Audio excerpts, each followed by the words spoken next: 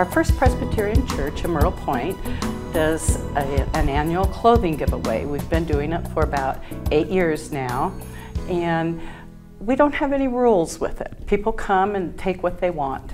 Um, they, our church members collect clothes throughout the year, whether they use give some of their own gently used clothing, or they go and um, buy clothing through thrift stores or through local garage sales, um, or even buy things that are new.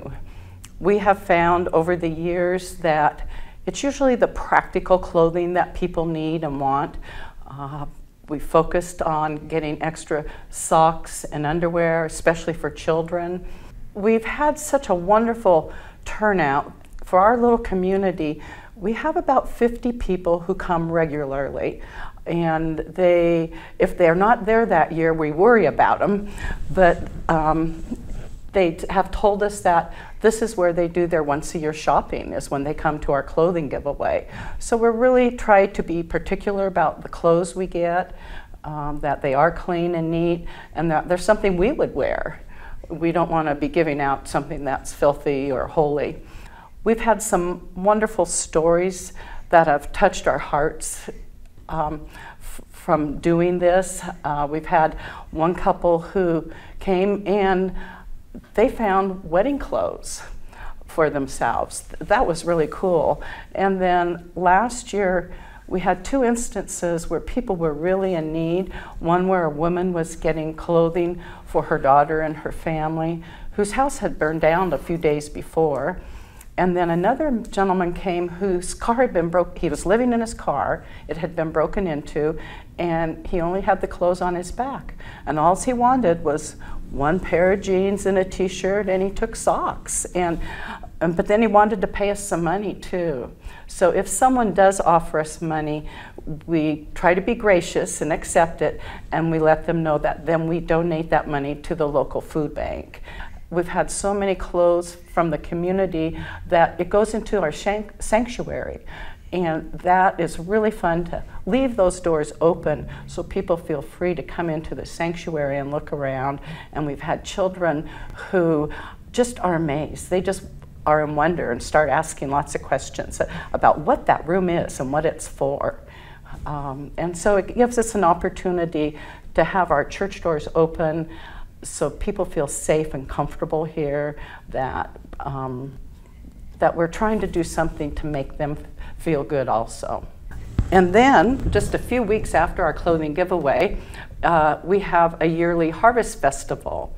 And probably for about 11 years now, we've been giving out free bottled water at the Harvest Festival. We get about 400 bottles of water, and we have a little tent we stand under, there's uh, the main street in town is closed off, and there's all sorts of vendors out, and we just give away water.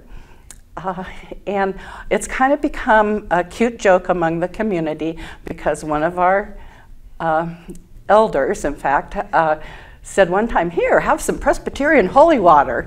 And our pastor was shook up, but you know, people loved it. They thought that was really neat. So now they get our holy water and they they just think it's fun. A lot of times people won't look at us. They think we're going to talk them into coming to church, but that isn't the point. We just want to be nice, want to give away the water and be um, available to the public that yes, we are an active church and we're here to help people too one of the things we they they started before I came, and I hadn't known the story how it started until just recently. Was uh, a, a, board on which they wrote the prayer requests, uh, and that happened partly because they had no pastor regularly, and pastors were alternating coming in, and and so this was a way to keep track of uh, the prayer requests and people that we were asked to pray for.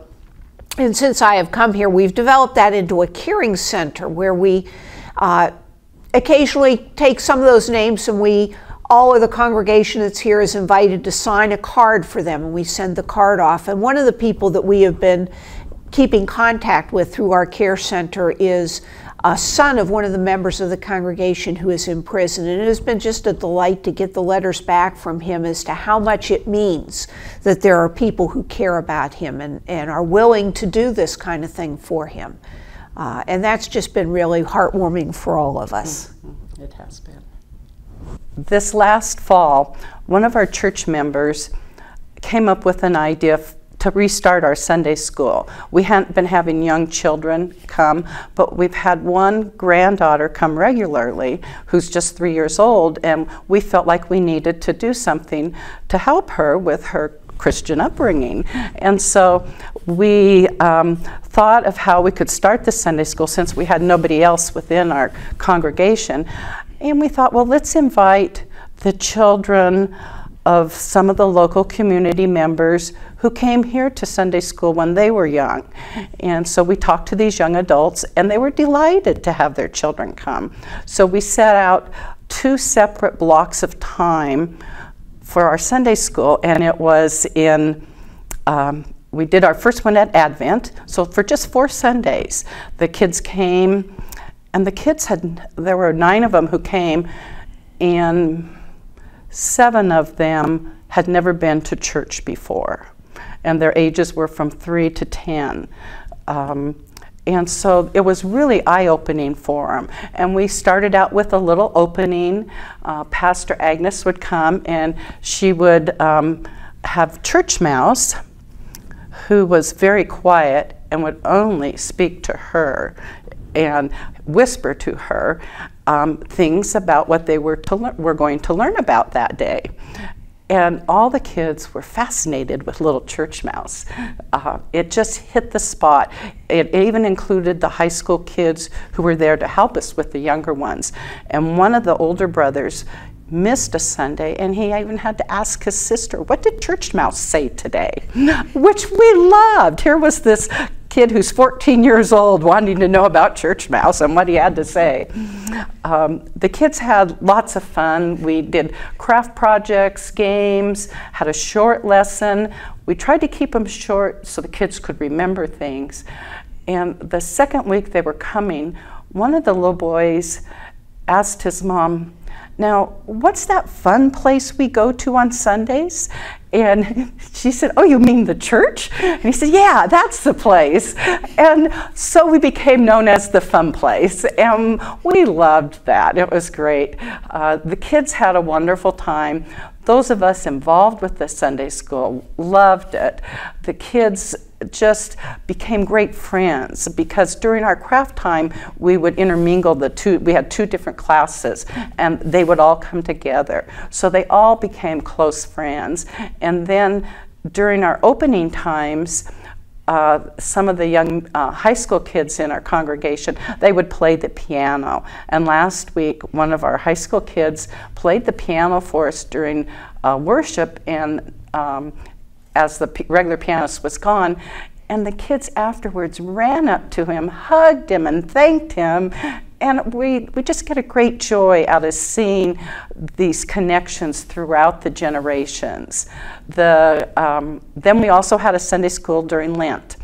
And the children once again, we're really excited to get started and not to miss a single Sunday. They had to come every Sunday. Uh, we, we had a great time uh, for that. And during that time, we had a mission project, and one Sunday, we had a noisy offering where we collected all the pots and pans from the kitchen, and eight of the children went around during a special time for, and we warned the congregation ahead of time to bring coins. And they made lots of noise and shook their pans, and they filled up these pans with coins. And afterwards, when we counted the money, we had collected $157. We were just amazed at how many coins we had. The kids thought that was just really great. They loved running their hands through the money when we put it all in one basket.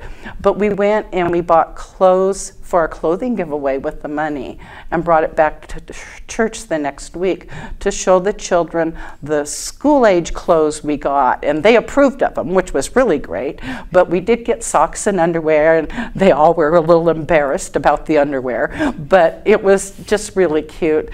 And they were recognizing what they were doing to help with other people in our community also, and that made us feel good.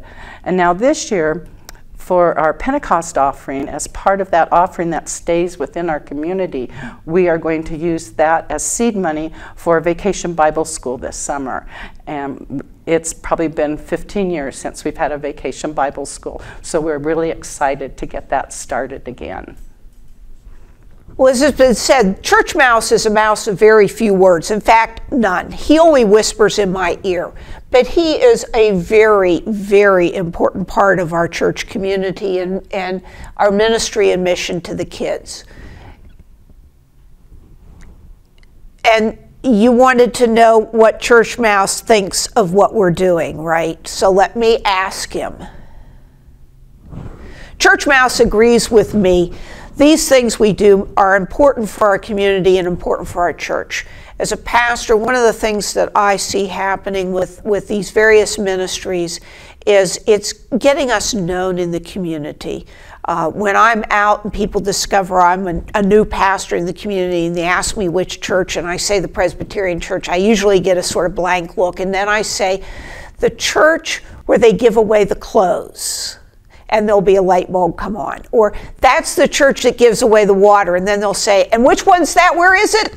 Uh, and, and in terms of being spotted in town, usually I have to say we're the church with the big steeple. But we are getting known in the, con- in the community as the church that gives away the clothes, that gives away the water, that, that does things for people in the community. And, and I think that's an important part not only of our ministry outside our walls, but it's becoming important as we think about how, how do we understand ourselves to be a church as a community of only about 27 Christians gathering to worship, and how do we make an impact with our faith?